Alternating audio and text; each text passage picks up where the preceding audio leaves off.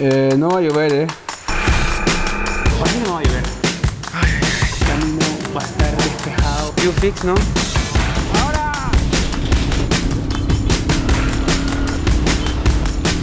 Vamos a llegar con tiempo, pero Bueno, ahora sí me quedé botado oficialmente.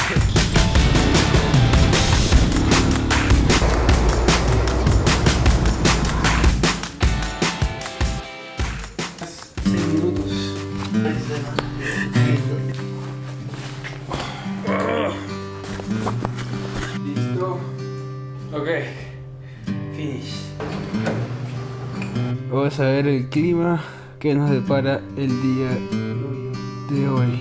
Venga, vámonos antes de que se ponga a llover. Espera, tengo que ver. Eh, no va a llover, eh. Parece que no va a llover. Aquí dice que no va a llover. Así que tenemos un buen día de ruta el día de hoy. hay muchísimas cosas para hacer aquí en Dalat. Nos acabamos de dar cuenta, pero no tenemos mucho tiempo para quedarnos aquí, así que solamente decidimos hacer una cosa que era la principal. Miren cómo estoy ya preparado para salir. Y, pero hay terrazas de arroz, hay templos, hay pagodas, hay iglesias, pero lamentablemente tenemos un solo mes en Vietnam, así que tenemos que sabiamente elegir los lugares y el tiempo en cada lugar. El camino va a estar despejado y esperemos libre de peligros y de experiencias cercanas a la muerte y no estar a 8 de la noche tirados en un pueblo en Vietnam.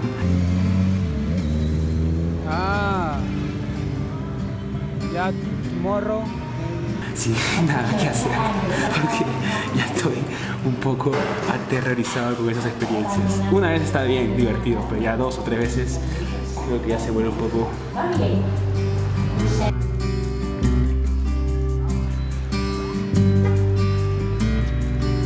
Luego de dos días de relajo, vuelta a la carretera.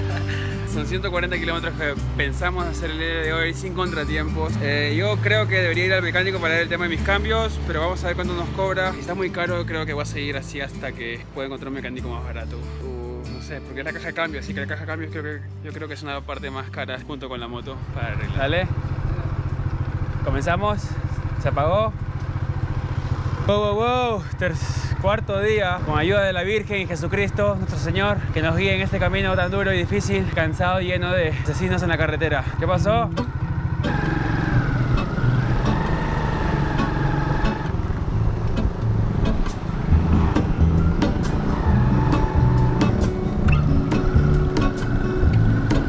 There is a life I lead in this city, to cut my teeth. I can take what I need to get by, Sorry. doesn't make it easy. ¿Qué es esto? ¿Qué es esto? ¿Por dónde me está llevando? Ok, ok, ok, ok, ok. La moto se paró de nuevo y no tengo segunda ni, ter- ni primera para regresar.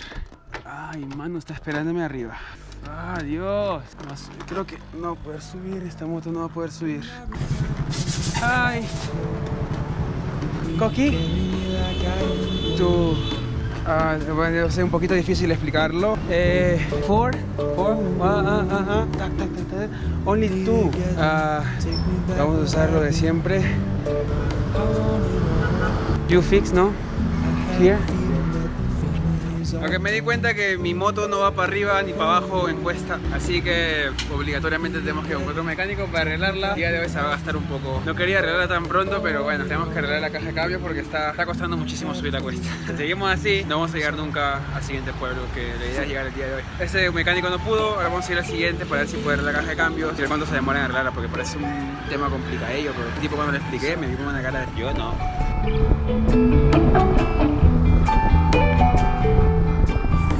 Bueno, al menos ese mecánico fue sincero y honesto y nos dijo que no sabía cómo arreglarlo. Porque como ustedes ya saben, pues anteriormente hemos tenido experiencias donde nos dijeron que sabían cómo hacerlo y resultó siendo un terrible desastre y una mala decisión. Entonces, la idea del día de hoy era manejar la moto lo más posible hasta que se sienta que ya no da para más. Porque el único problema eran las subidas, honestamente.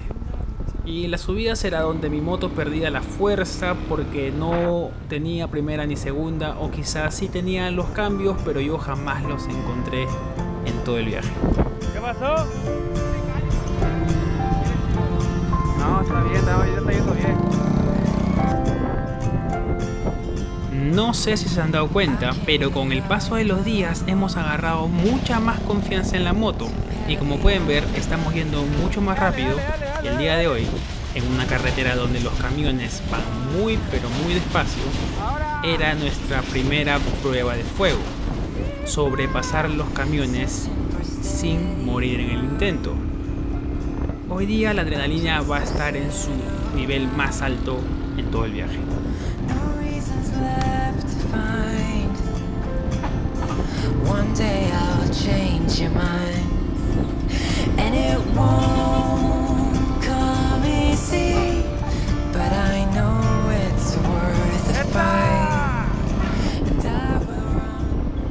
Lo que tienen que saber es que la maniobra de sobrepasar camiones puede ser muy engañosa y peligrosa muchísimas veces. Como todos saben, los camiones, más los camiones, tienen muchos puntos ciegos y tú al confiarte y al no ver a nadie adelante, está listo para sobrepasar al camión, este camión puede hacer un giro brusco sin verte y bye bye a llorar al río.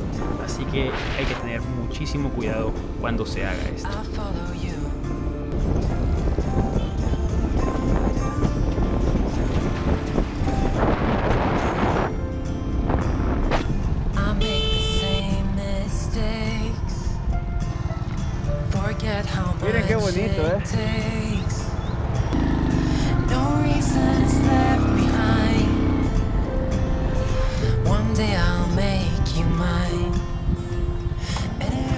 Yo agarro break. Vamos a llegar con tiempo. Pero, brother, si ves los videos que he grabado, parada técnica y de agua.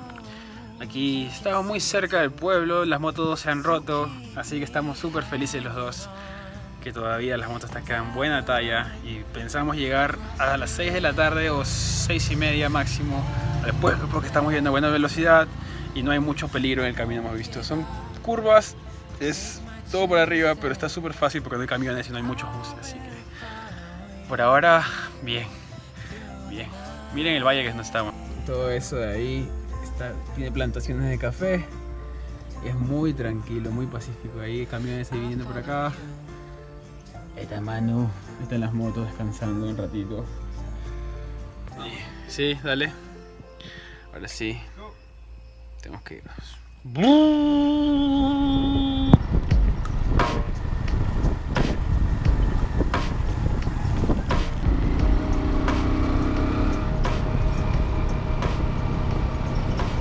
Y como lo pueden ver, el día no podía ser mejor. Los ánimos estaban muy bien y muy arriba al ver que las motos respondían al terreno donde estábamos manejando. Aunque nunca queremos pecar de triunfalistas, porque ustedes ya saben lo que pasa cada vez que decimos algo bueno sobre las motos, el día de hoy pintaba para ser un día perfecto en el diario de Vietnam. Y decir perfecto para nosotros es no ir al mecánico más de dos veces en el día, o algo así.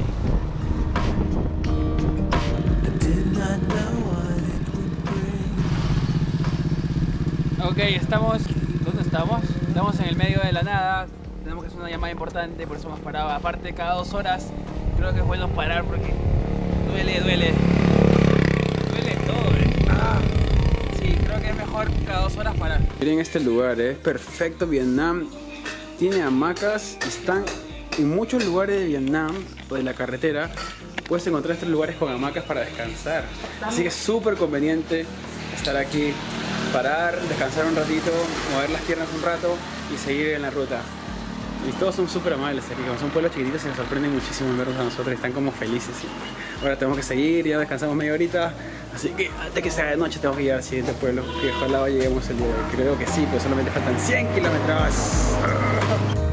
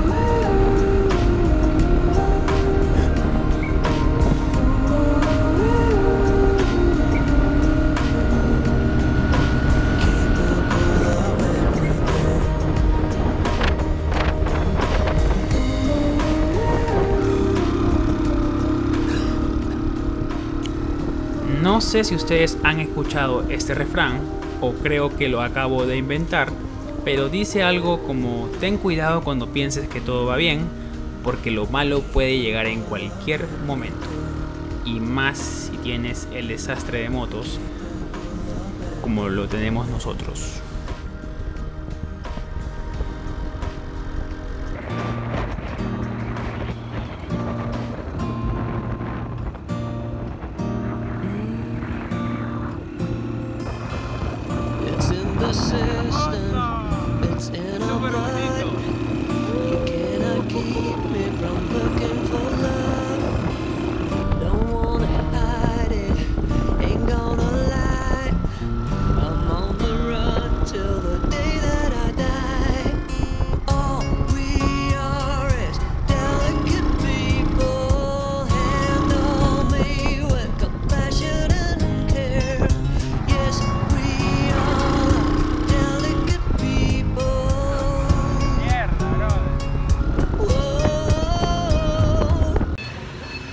4 kilometritos para llegar al hotel, mi moto decidió no avanzar en cuesta arriba.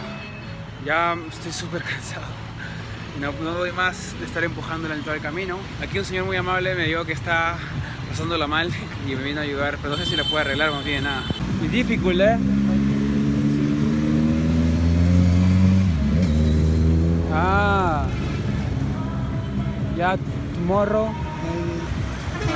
Acá que dice que hay algo aquí. Ah. Parece que el problema es con el motor. Está que me señala el motor, pero no entiendo nada.